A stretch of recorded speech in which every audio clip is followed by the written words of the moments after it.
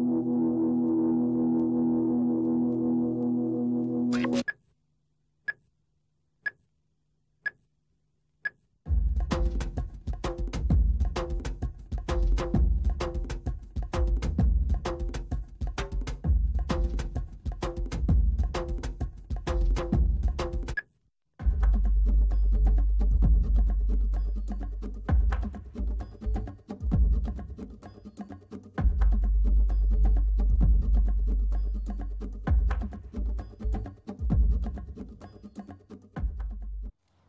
Il y a tout juste trois ans, en avril 2000, s'ouvraient au pavillon des sessions du Louvre des salles consacrées aux arts d'Afrique, d'Asie, d'Océanie et des Amériques.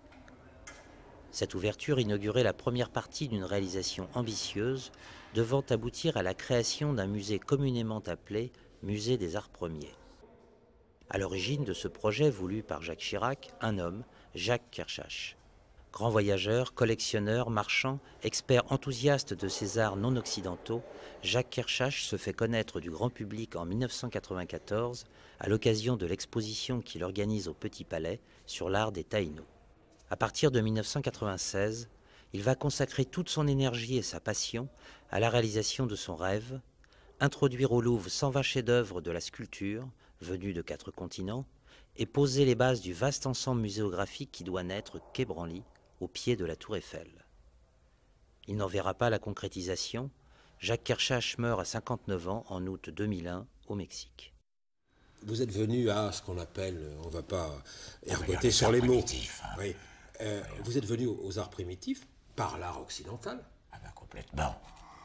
D'ailleurs, qu'est-ce qui sont les premiers à avoir regardé les arts primitifs C'est les occidentaux, à avoir porté des réflexions. Et souvent, ça a été parle pas de l'époque de Cortés, mais très vite, les premières réflexions positives sur ces arts, les toutes premières, elles viennent d'artistes. Il n'y a pas de hasard. En général, les seuls qui font pas de discrimination, c'est les artistes. Donc, les premières réflexions positives, c'est-à-dire portant un jugement critique sur le plan esthétique sur des œuvres dites primitives sont celles de Durer et de Cellini. Déjà la Renaissance.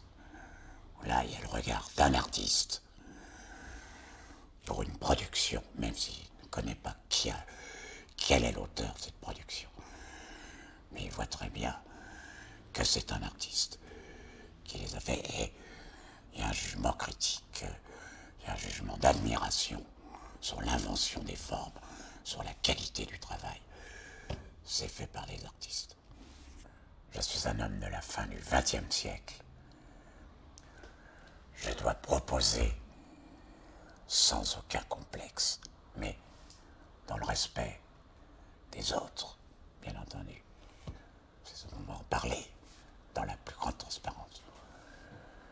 Mais les choix qui me paraissent ceux du résultat de mon parcours de ma génération et de mon engagement qui seront remis en cause, et c'est ça, par la génération suivante, et ainsi de suite. C'est, c'est, moi, c'est des convictions, une passion, un destin. Je ne peux pas faire autrement. Les gens le savent, je me battrai jusqu'au bout. Alors, un destin, est-ce que vous qui avez le bac, mais qui n'avez pas fait d'études supérieures euh, classiques, est-ce que vous pour être sur ces terres et pas aller en Algérie. Ça a été une contrainte. Est-ce que vous êtes tombé du ciel ou est-ce que euh, vous avez des modèles d'identification, des, gens que vous admirez encore beaucoup et que vous pouvez considérer comme des modèles? Alors vous mettez souvent en avant le nom de Max-Paul Fouché. Ah oui, parce que Il y en a d'autres Ah ben oui. On n'arrive pas comme ça sans les autres. Ça n'existe pas, on n'est pas comme ça je dis toujours, Ostropovitch, il fait 4 heures de gamme par jour. Et moi, je travaille tous les jours et du matin au soir. Il n'y a pas d'art sans éducation et sans travail, ni pour le faire, ni pour le regarder. L'histoire du coup, ça me... Le coup, pour moi, ça m'intéresse pas. On a le droit, bien entendu. La moindre des choses, c'est que chacun puisse choisir ce qu'il aime, mettre chez soi ce qu'il aime, aimer ce qu'il aime. Il n'est pas question d'imposer quoi que ce soit. Moi, je ne me bats pas pour imposer. Je me bats pour que toutes les cultures, dans leur meilleur aspect, soient à la disposition de tous. C'est-à-dire que tout le monde dispose d'un vocabulaire dans lequel on peut choisir, puiser son inspiration. Je n'impose rien du tout. Alors parlons des maîtres avant euh, de continuer à dire je. Alors Max. Euh, parce que vous, vous, intéressez pas, vous ne vous intéressez pas beaucoup à l'histoire du goût, mais il vous a mis en appétit. Ah non mais Max Paul Fouché c'est la révélation. J'avais 13 ans. Et comme je dis, mes parents, au lieu de me, faire regarder Reine d'un soir à la télévision, me faisaient regarder le fil de la vie. C'était pas plus mal. Ou le Terre des Arts. Et chez Max Paul, ce qui, ce qui m'a frappé, je veux dire, ce qui m'a enthousiasmé, je sais pas pourquoi comme ça, c'est la passion avec laquelle il parlait, mais pas d'une culture, de toutes les cultures. Il parlait avec la même passion du Quattrocento, de l'art des Indes, du Mexique, de Picasso, de l'Arnec, de l'impressionnisme, sans aucune. Donc, c'est quelqu'un qui, à ce moment capital vers 13 ans, on est passage de l'adolescence, qui a été comme un choc qui a ouvert les yeux sur le monde. Mais sans jamais mettre telle partie du monde, telle culture ou telle autre, dans un ordre quantitatif, qualitatif. Partout, il montrait qu'il y avait des œuvres remarquables, une architecture remarquable. Et ça sert. Ça a été tout d'un coup cette ouverture sur, sur le monde. Le, le, le capital que je n'aurais pas eu en allant à l'université. Moi, mes universités, je les ai faites sur le terrain. Forcément, avec beaucoup plus de liberté. Puisque je ne suis pas rentré dans une méthode. C'est ma chance. Je ne dis pas que l'université, c'est pas très important. Moi, j'ai eu beaucoup plus de liberté. Alors, Max Paul Fouché, c'est un peu le modèle, on ne va pas dire de l'intellectuel, c'est le modèle de l'amateur. Mais est-ce que, par exemple, chez les ethnologues, parce que vous, voyageurs, vous avez dû les lire beaucoup, est-ce qu'il y a des ethnologues qui pourraient euh, jouer ce rôle de modèle dans votre vie? Non, non, ça, ça, ça, ça passe pas par là.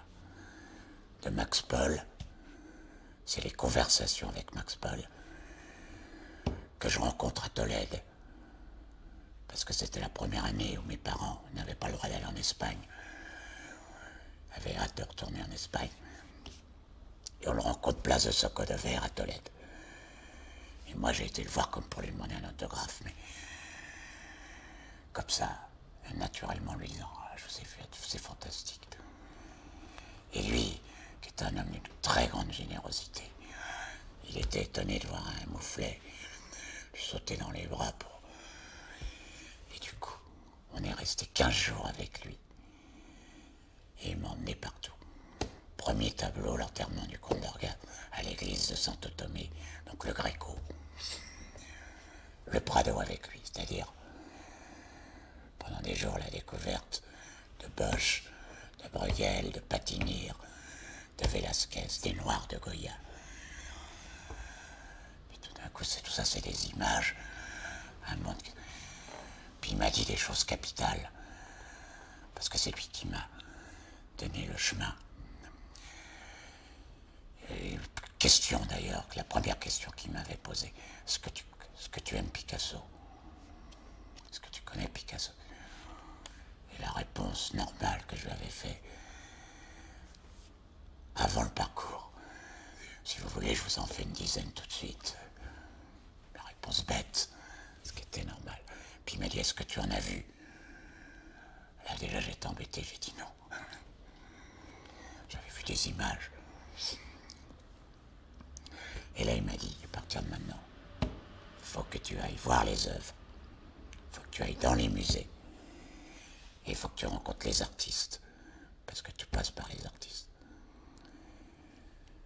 Et à partir de là, j'ai appliqué ça, mais plus que systématiquement. Et pour moi, les gens, à ce moment-là, il n'y a pas d'ethnologue encore qui arrive en vue.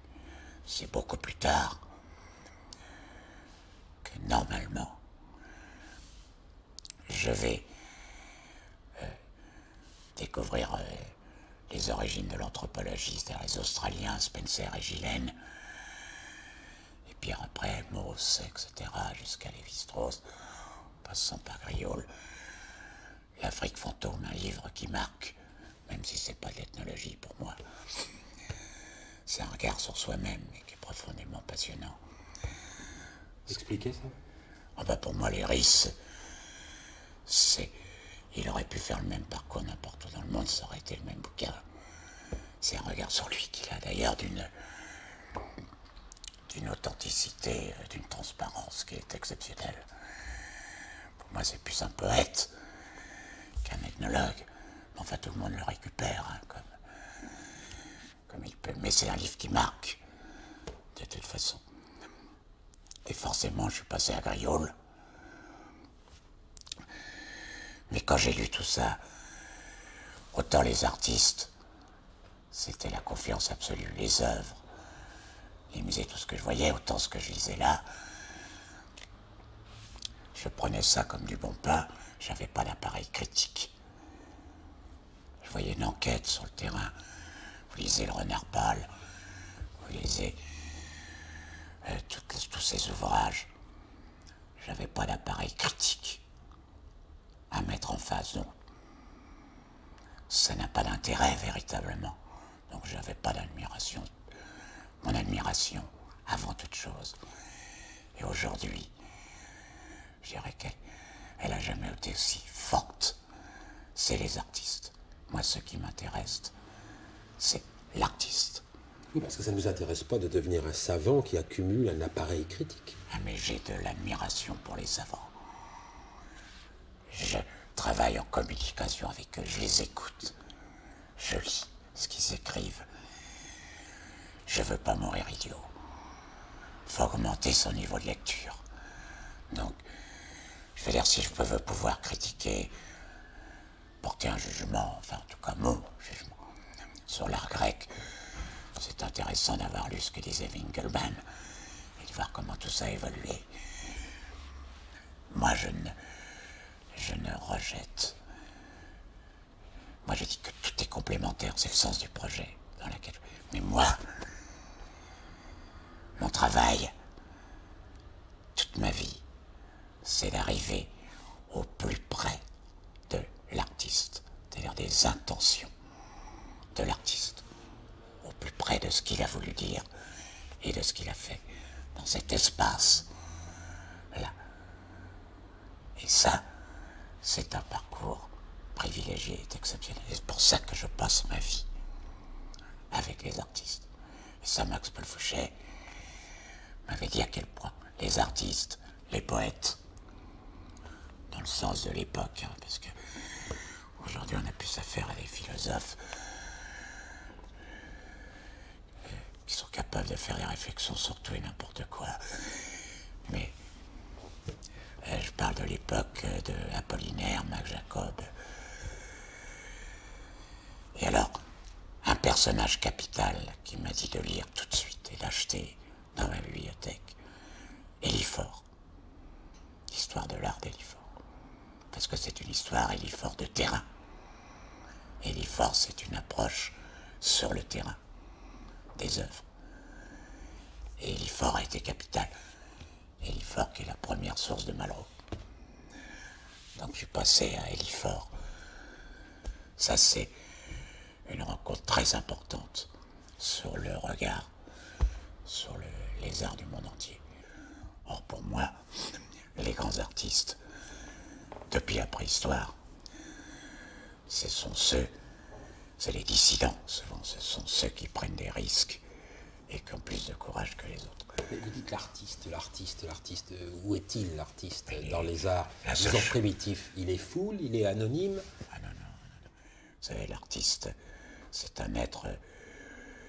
C'est le contraire de ce qu'il est dans notre, dans notre 20e siècle aujourd'hui.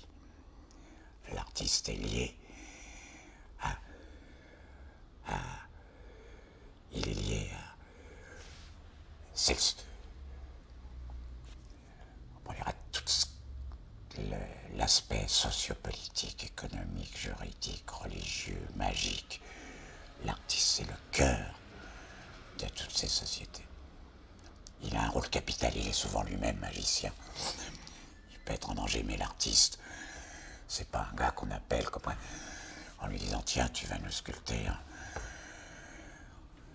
L'artiste, c'est quelqu'un qui est choisi, qui est repéré.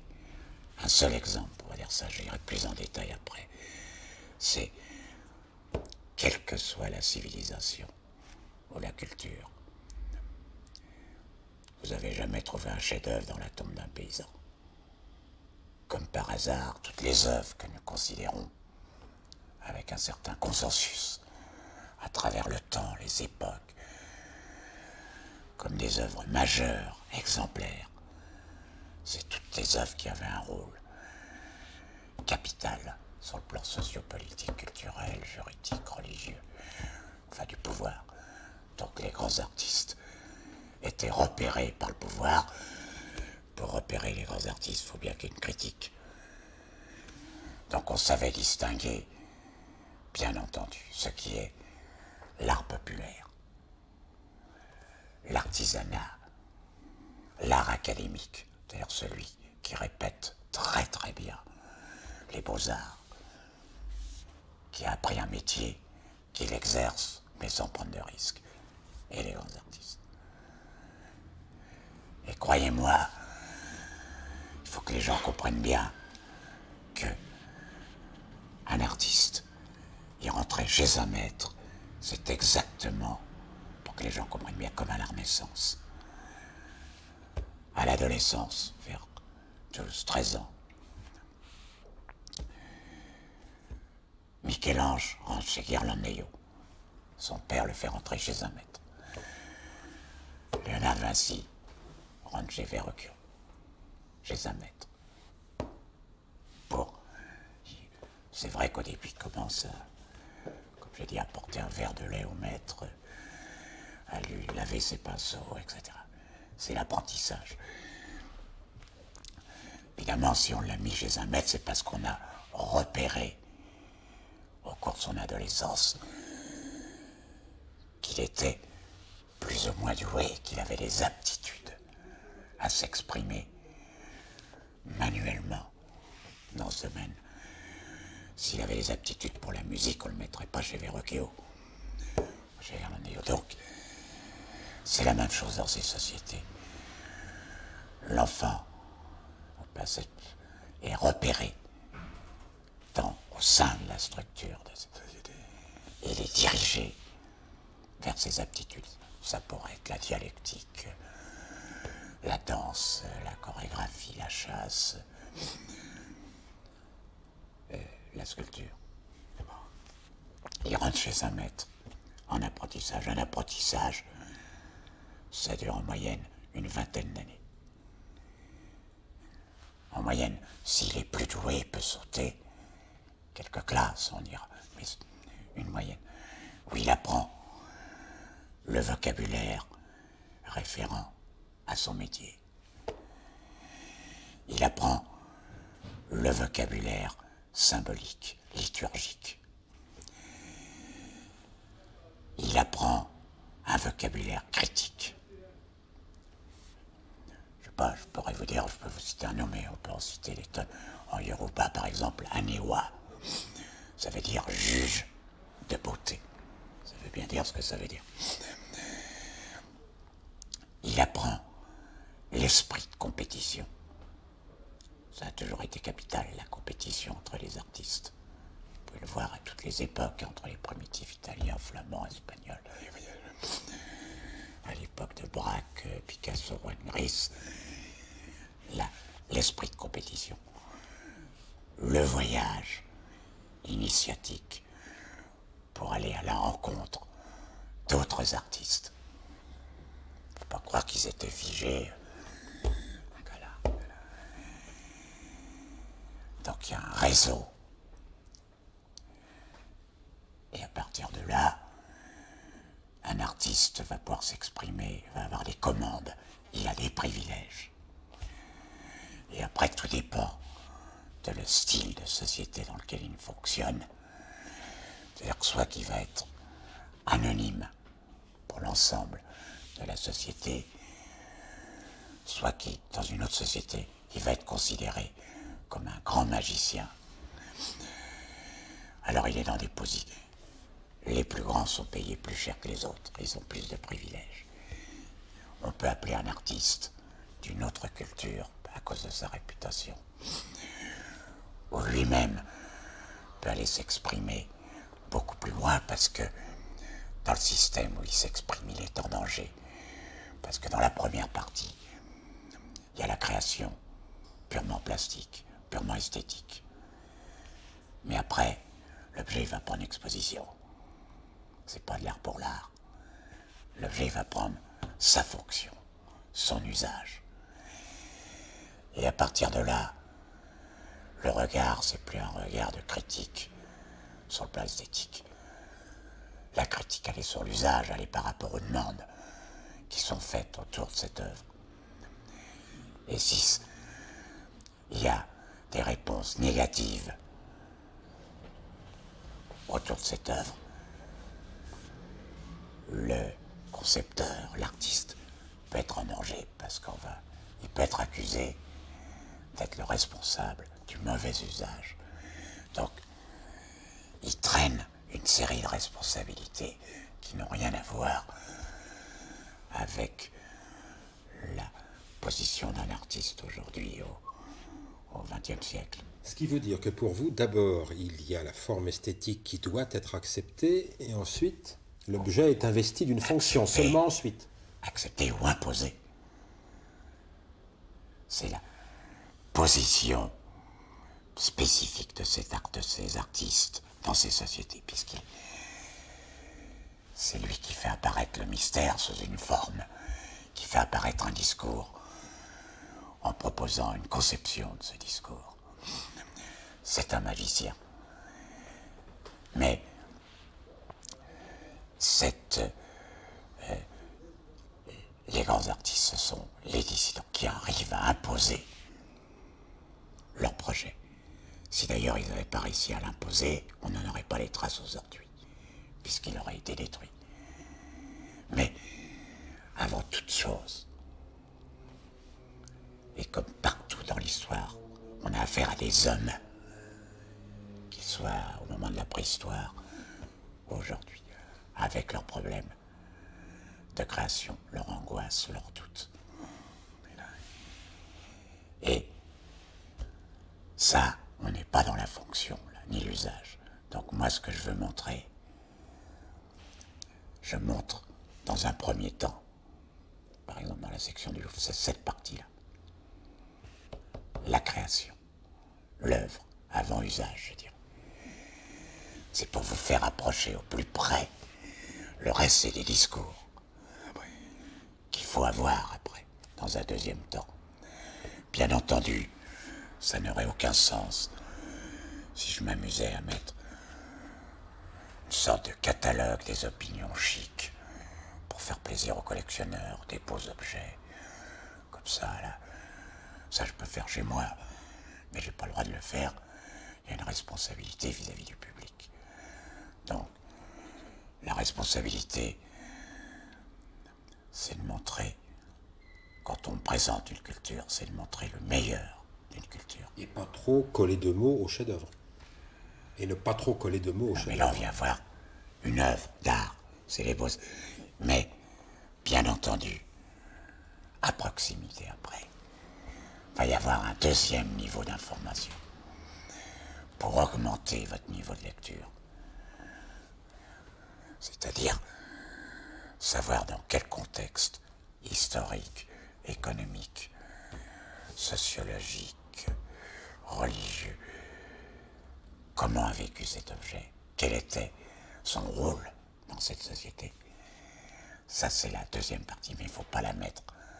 La pensée étiqueteuse, il ne faut pas mettre l'étiquette avant l'œuvre, parce que si on vous dit, ça c'est la pensée étiqueteuse, j'ai passé ma vie dans les musées du monde entier, c'est pareil partout, même dans les expositions. Les gens vont voir l'étiquette, et après s'expriment. Ah, c'est un Rembrandt, j'ai pas de risque, c'est merveilleux, mais c'est très grave. Il faut s'écarter de quoi quand on regarde une œuvre? C'est de tous ces appareils de sélection. Un, du pays d'origine. Moi, quand je regarde l'œuvre d'un artiste, je ne demande pas sa carte d'identité. Je porte un jugement sur l'œuvre avant de savoir s'il est. Moi, il n'y a pas de délit de sale gueule. Avant de savoir s'il est grec, chinois, turc, péruvien. Moi, je regarde l'œuvre. Et je porte un jugement sur l'œuvre. Et après, ça m'intéresse. Je ne regarde pas quelle est la date de l'œuvre. C'est pas parce que ça a 3000 ans que c'est merveilleux. Et l'effet comique, ça existe Non, Non. ça- ça- c'est des termes que. Vous pouvez employer le mot humour. Humour.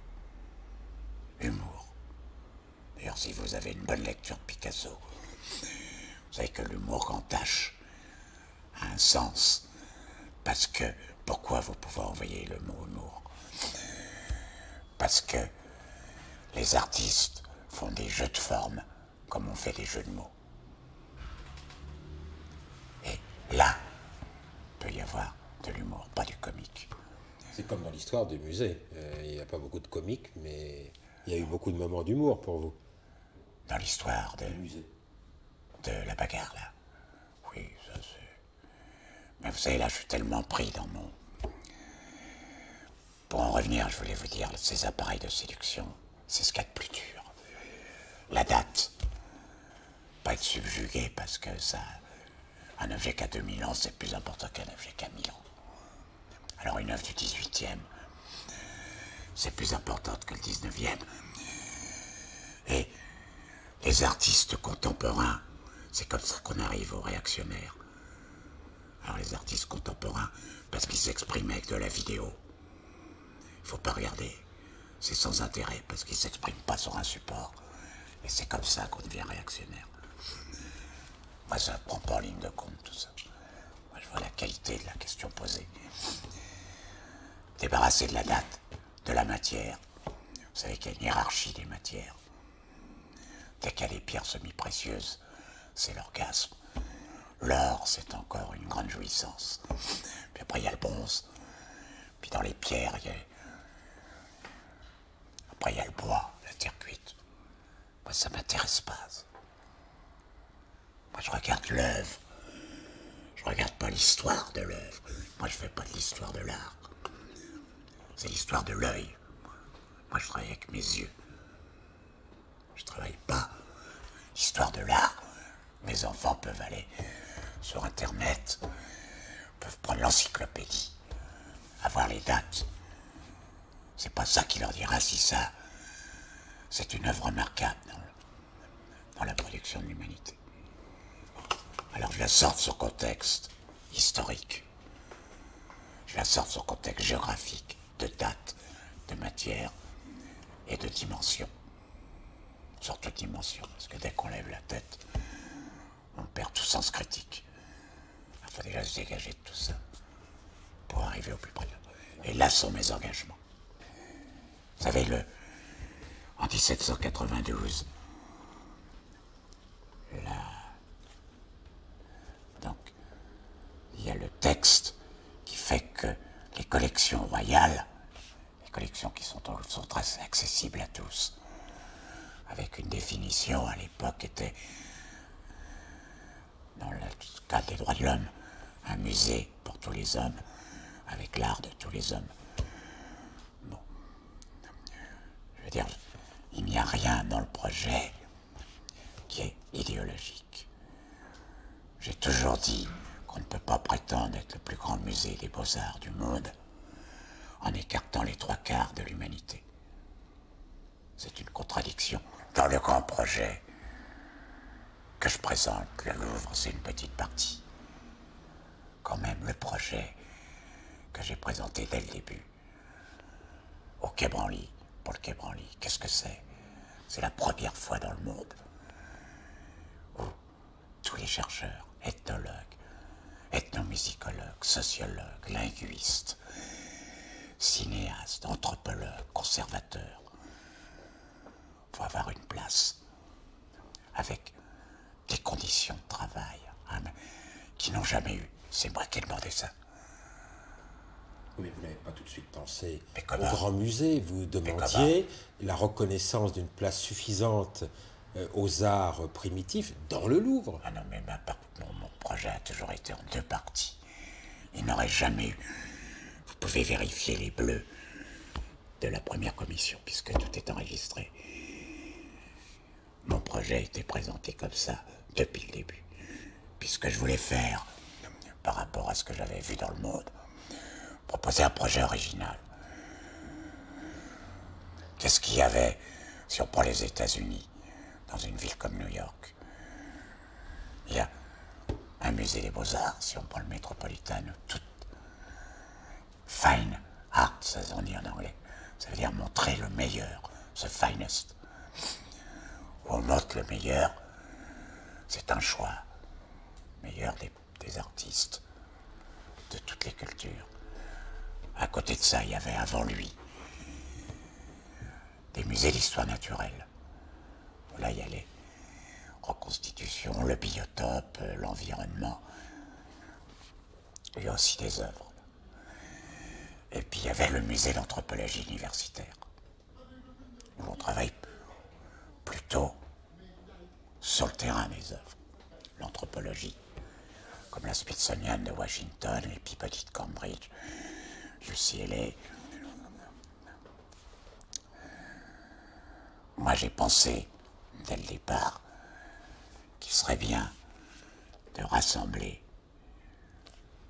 ces diverses expériences dans un même lieu, avec en plus des projets originaux, des attitudes différentes à avoir avec les pays d'origine, un nouveau dialogue.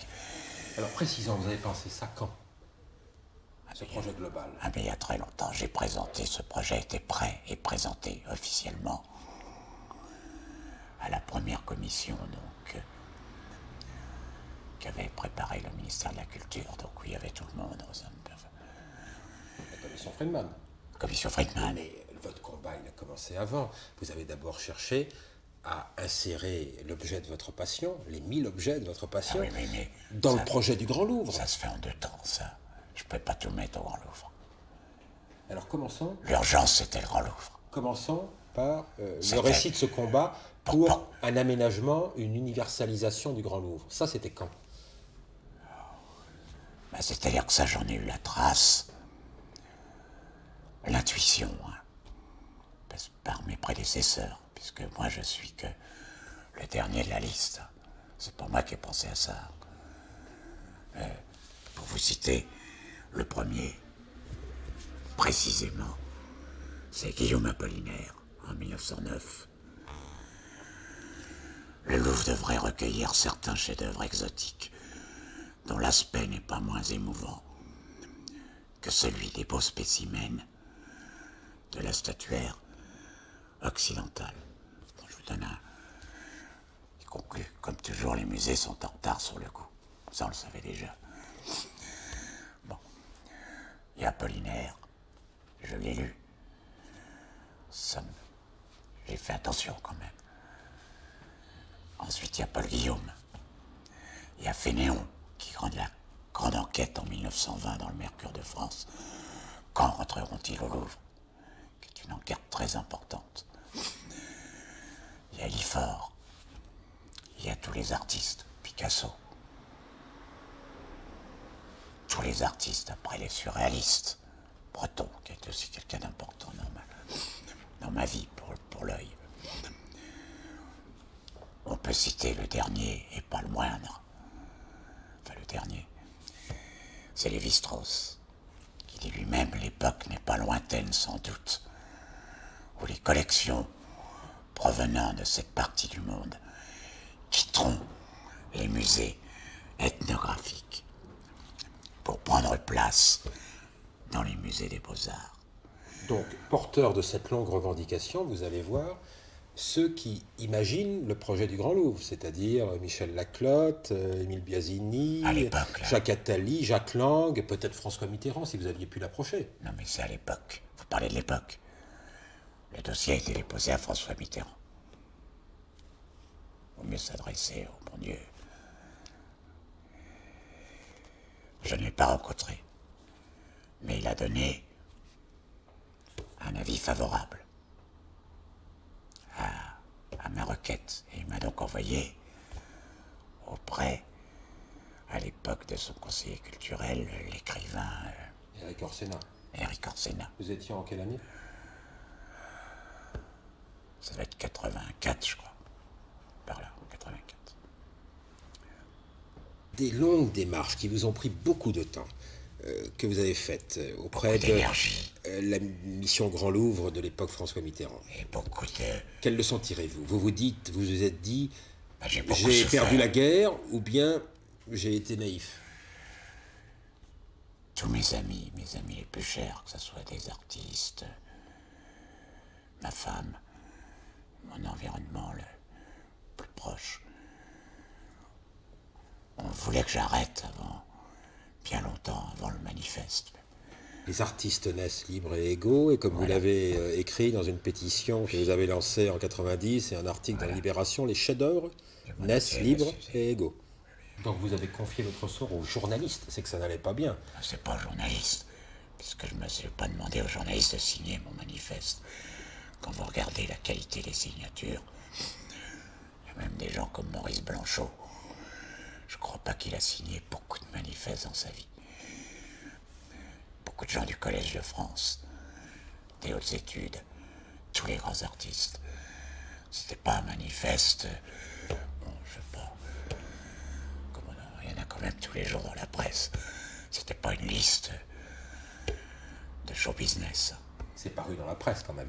Ben, c'est moi qui ai fait paraître dans la presse. Fallait bien que je m'exprime, puisque je. Où était le. C'était le seul moyen de communication. Donc c'est. Je l'ai fait paraître dans la presse. Ça a recueilli encore quelques signatures en plus. Et là, ça. Quand même, les autorités s'attendaient pas à une telle qualité, je dirais, de signature. Je l'ai fini d'ailleurs la correction du manifeste avec l'ERIS.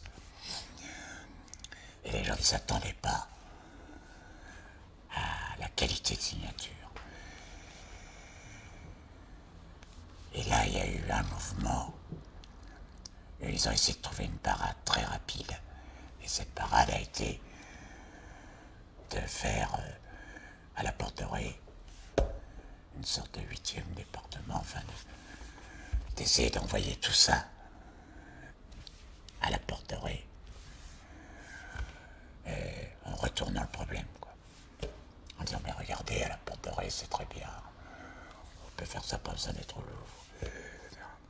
Bon, et là, j'ai... J'ai bien entendu, j'ai arrêté, là, on m'a- j'avais appris ma leçon. La rencontre avec Jacques Chirac, il y a beaucoup de mystères dans la vie de Jacques Kershach. La rencontre avec Jacques Chirac, c'est en mystère. 90 ou en 94 Mais là, c'est en 92. Enfin, la date, il n'y a rien de mystérieux au moment des... Vous savez, la presse en 96 dit il y a six ans, une amitié violente est née entre Jacques Chirac et Jacques Kershach. Donc je calcule, ça fait 90. Non, non, c'est 80, c'est 92. Enfin, que je vous dis, je fais pas, ça paraît déjà, il s'est déjà tellement passé de choses à la suite de cette rencontre que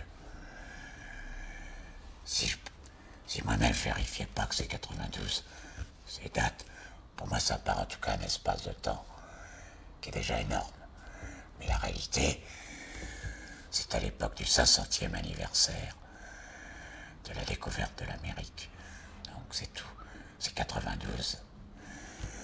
Et c'est ça qu'il fallait fêter Qui était fêté dans le monde entier par euh, des manifestations. Et qu'il fallait fêter ah non, mais moi j'étais contre.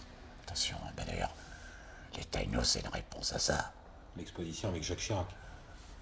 C'est là-dessus que vous vous êtes rencontré avec Jacques Chirac Non, c'est un petit peu différemment.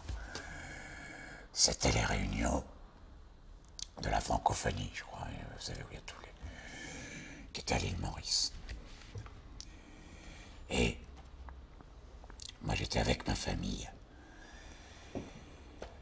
Et la veille de partir, il y avait eu un article, l'histoire est très claire. Justement, dans Le Figaro magazine. C'est pas mon ouvrage de prédilection, mais il faut tout regarder. il y avait une double page sur la bibliothèque de Jacques Chirac. Jacques Chirac dans sa bibliothèque. Et en premier plan, en gros, devant, il y avait l'art africain. Il y avait mon bouquin.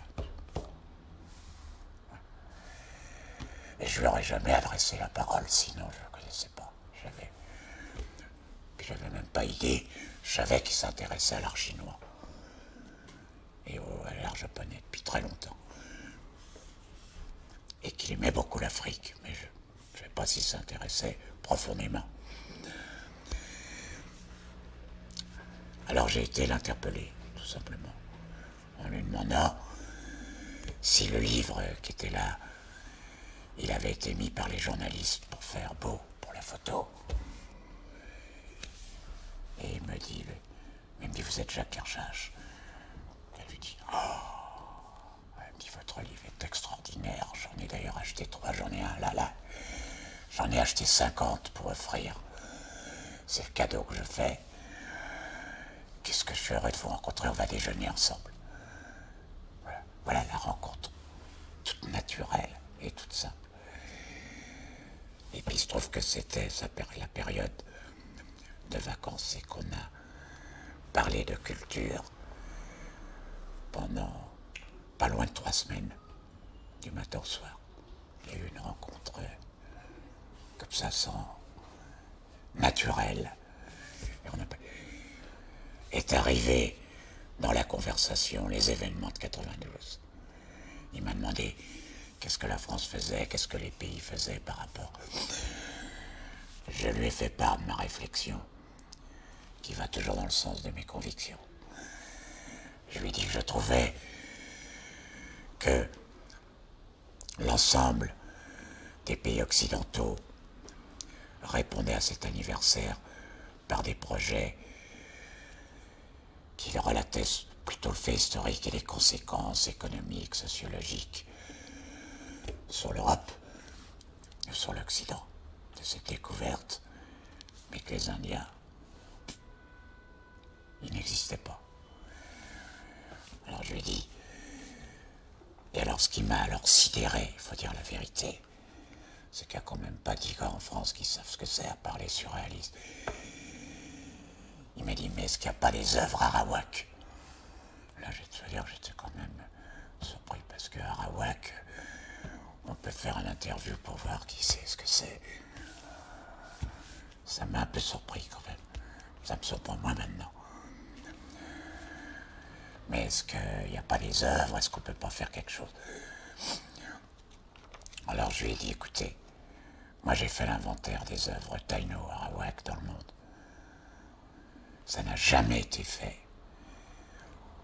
Non seulement on peut rendre hommage à ces cultures, faire une exposition montrant qu'il y a eu des artistes et des œuvres, donc et bien entendu des œuvres remarquables dans ces cultures, et qu'en même temps, il y a eu le plus grand génocide, le premier grand génocide de l'histoire de l'humanité, puisqu'entre 1492 et 1510, il y a eu 3 millions de morts. Et pourtant, à l'époque, il n'y avait pas le matériel qu'il y a aujourd'hui. Il fallait une grosse volonté. Et beaucoup de famine. Oh, la famine est venue après. Hein. Il y a eu beaucoup de massacres, il y a eu beaucoup de suicides collectifs. Il y a les maladies, bien entendu. le travail forcé, enfin, mille raisons. Enfin, c'est un gros massacre. Et alors, euh, à ce moment-là, euh, on allait fêter en même temps l'année de l'Indien en 93. Et euh, Chirac m'a demandé est-ce que vous pouvez faire une exposition, enfin quelque chose. Je lui dit on peut faire quelque chose d'unique au monde. Et, en même temps avoir des textes qui dénoncent génocide. Et c'est lui aussi qui m'a dit, avant que je le dise, mais ça doit être dans un musée des beaux-arts. C'est pour ça que c'est pour pas qu'il y ait d'ambiguïté. C'est pour ça que ça a été fait au Petit Palais. Mais le grand projet original, c'est le musée des arts et civilisations. Parce que là, il y a passé, présent, avenir. Il y a les arts vivants qui vont être là. Il y a un projet sur de nouvelles relations un nouveau dialogue avec les pays d'origine. Enfin, il va se passer. Justement, parlons du dialogue avec les pays d'origine. Est-ce qu'il n'aurait pas été plus, comment dites-vous, moral de prôner le maintien sur place? Ou le développement de la muséographie d'Afrique, euh, d'Océanie, euh, que sais-je je le, comprends pas. le, projet de Nouméa, du centre culturel de Djibaou, ce sont des objets calédoniens qu'on essaye euh, de rapatrier vers la Nouvelle-Calédonie. Il y a des objets là-bas, tout ça c'est des discours démagogiques. Pourquoi alors? Il faut faire très attention là-dessus, à la discrimination subtile.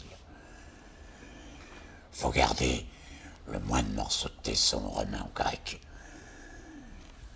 ou égyptien, ou n'importe quel tableau italien. Mais les trucs de nègres, de ça, on peut renvoyer ça chez eux. Attention, analysez le discours en profondeur c'est profondément discriminatoire. on renvoie tout. Et on met l'Égypte en Égypte, la Grèce en Grèce. Faut savoir ce qu'on veut. Hein. Première chose. Deuxièmement, alors le côté démagogique de penser que c'est parce que on est, on revient à ça, qu'on est africain, qu'on comprend l'art africain, qu'on est français d'ailleurs, qu'on comprend l'art français. C'est qu'on n'a rien compris hein, au problème de l'art et à sa lecture. Je veux dire, ça n'a rien à voir. Donc, il faut arriver, on a un passé historique sur lequel on ne peut pas revenir. Quand je dis pas revenir, moi c'est pas de ma faute s'il y a eu. Pensez bien que c'est pas mes convictions qu'on ait massacré les Indiens. Qu'on continue à les massacrer d'ailleurs en ce qui concerne l'Amazonie. Qu'on ait envoyé des esclaves. Euh, d'ailleurs, à la suite de ça, puisque c'est parce qu'il n'y avait plus de Taino, d'Indiens qu'on a fait que l'esclavage. Vous comprenez bien que c'est pas moi qui vais défendre ça.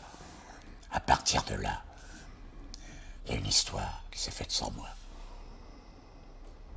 Où des pays ont rapporté que ce soit pour l'Égypte, pour la Grèce, pour la Chine, ça continue. Il sort 100 000 objets par an de Chine. J'entends personne crier au scandale. Pourquoi? Pourquoi ce jugement de valeur? Comme ça, si Dieu, à la Chine, ça on peut, allez-y, c'est très bien. Mais l'Afrique ou les Papous, non. Alors, moi j'arrive devant des faits historique et une situation historique. Il y a des expéditions officielles françaises, allemandes, de tous les pays qui ont rapporté des objets. On est devant cette situation, il y a une évolution politique, historique. Maintenant, à partir de là, il faut analyser les urgences. Est-ce qu'il faut ignorer ces cultures? Est-ce que dans le Panthéon mondial, moi je vais pas mettre 10 000 pièces Kanak? Je vais peut-être en mettre deux. Montrer que j'ai les Kanaks. Les Kanaks rentrent au Louvre. Est-ce que vous pensez que c'est pas bien non plus ça? Mais je vous entends parler à la fois là du pavillon des sessions, du projet du Mais Louvre, parce que c'est lié. et du quai Branly. Parce que Parce je me que c'est disais, lié, je me disais, euh, Jacques Kerchage, bon, euh, il va déjà avoir tellement de mal euh, euh, à installer ses chefs-d'œuvre dans le pavillon des sessions.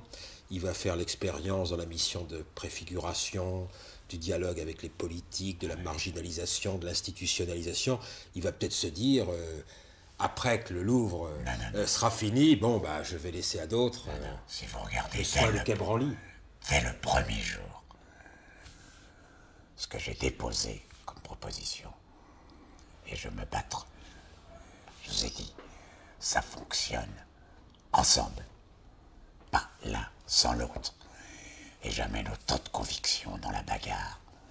Et croyez-moi, je vais vous dire une chose paradoxale. La bagarre, elle est encore plus rude. Plus rude et plus dure pour le Quai Branly que pour le Louvre. Le Louvre, c'est rien à côté. Bah oui, ça n'est pas étonnant. Ça vous étonne? Mais c'est encore plus dur.